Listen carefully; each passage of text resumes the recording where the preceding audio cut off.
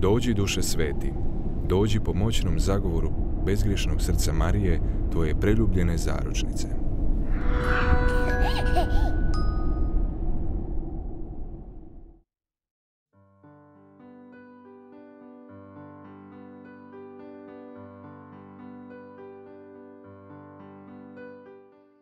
Iz Evanđelja po Ivanu U ono vrijeme naumi Isus poći u Galileju.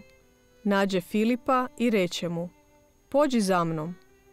Filip je bio iz Becajde, iz grada Andrijina i Petrova. Filip nađe Natanaela i javi mu.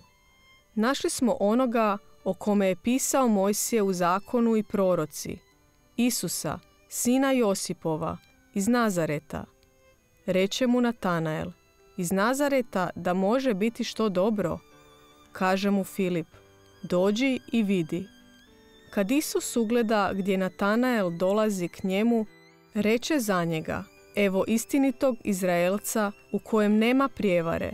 Kaže mu Natanael, odakle me poznaješ? Odgovori mu Isus, vidjeh te prije nego li te Filip pozva, dok si bio pod smokvom. Nato mu Natanael, učitelju, ti si sin Božji, ti kralj si Izraelov. Odgovori mu Isus, stoga što ti rekoh, vidjeh te pod smokvom, vjeruješ. I više ćeš od toga vidjeti. I nadoda, zaista, zaista kažem vam, gledat ćete otvoreno nebo i anđele Božje gdje uzlaze i silaze nad sina čovječega.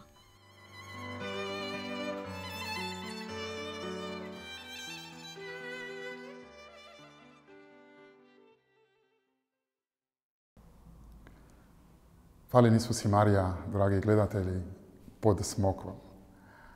Nadam se da ste lijepo proslavili novu godinu unatoč evo, ovim malo neobičnim okolnostima. I gospodin nam je svejedno dao novu godinu, priliku da nastavljamo živjeti s njime. I zanimljiv je ovaj odlomak zato što baš nas veže uz našu emisiju. Evo, kao što ste čuli, sam Isus u tekstu spominje kako je već vidio Natanaela dok je još bio pod smokvom. Idemo od početka. Najprije Isus vidi Filipa i pozove ga. Ne, znam da li, ne znamo da li se Filip odazvao, ali vjerojatno je. Kad je imao potrebu tražiti Natanaela, kaže nam evanđelist, Filip nađe Natanaela i javi mu. Našli smo onoga o kome je pisano o kome je pisao Mojsije.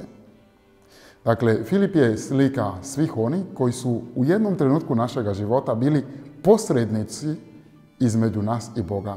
Oni koji su nas vodili tamo gdje znaju da ćemo dobiti dobro rješenje, utjehu nekim našim, zbog nekih naših životnih situacija i problema. To je slika Filipa.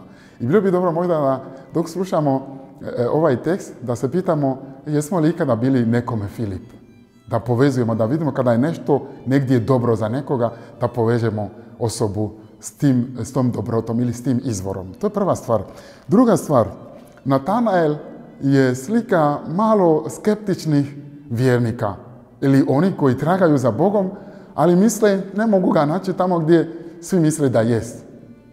Netko će reći Isus da, crkva ne, ja volim Isusa Boga, ali ne bi išao u crkvu. Zaboravi da je crkva najposvećenija i najsvetija, najsvetije mjesto gdje možemo pronaći Boga. Jer je posvećeni prostor s tom namjerom. Da ovdje Bog bude na poseban način prisutan. I onda, zašto to kažem? Zato što Isus, odnosno e, e, e Natanael kaže iz Nazareta da može biti što dobro. To znači, on smatra da postoji neka mjesta iz kojih ne može biti ništa pozitivno, ništa dobro. Mi i ponekad i kategoriziramo ljude. Postoje ljudi od kojih mislimo od njih ništa. Ništa dobro, zato što smo možda jednom razočarali u njih, onda, onda stavimo ih u određenu kutiju i zatvorimo oni, pa makar se trudili koliko god, oni nekada nama neće biti dobro. Ne, ponekad Bog baš ide preko tih ljudi, preko tih mjesta. I onda na kraju Isus se obraća E, e, Natanaelu ovim, e, ovim riječima. Dakle, unatoč njegovom skeptičnom stavu, Isus mu kaže, evo istinitoga Izraelca, u kome nema prijevare. Što to znači ovdje istiniti Izraelac? Sjetimo se one borbe između Jakova i Boga u kizi postanka, gdje Jakov pokušava pobijediti toga nevidljivoga borca, e, e, e, onoga koji je nasuprot njega, protivnika, a Bog pokušava pobijediti Jakova. Nakon te borbe, sjetimo se, Jakov je ranjen, a tada je dobio ime Izrael. Zapravo, Isus želi reći, evo pravoga borca, evo pravoga tragatelja. I onda na kraju on kaže, Natanael kaže, odakle me poznaješ? A Isus kaže, vidjeh te prije nego li te Filip pozva dok si bio pod smokvom. Evo nas, dragi gledatelji, pod smokvom, a to znači u Svetom pismu proniknuti, promatrati, razmišljati o Božoj riječi, ali polazeći od svoga života. Dakle, biti pod smokvom, kao što znate sigurno, to znači promišljati o Božoj riječi, ali u svjetlu, dakle, promišljati o vlastitom životu, ali u svjetlu Božje riječi. Ova emisija upravo služi tome da nam pomaže da, se na trenutak, da na trenutak zastanemo i da budemo sa Natanaelom, s Filipom, samim Isusom pod smokvom. A Isus, ako je s nama pod smokvom, On nam daje tumačenja, On nam daje značenje našega života. Pa poslušajmo ga i pokušajmo evo, u svoj život e, unijeti e, bogatstvo ovih njegovih riječi i sigurno će biti plodova od smokve našega života. Bog vas blagoslovio.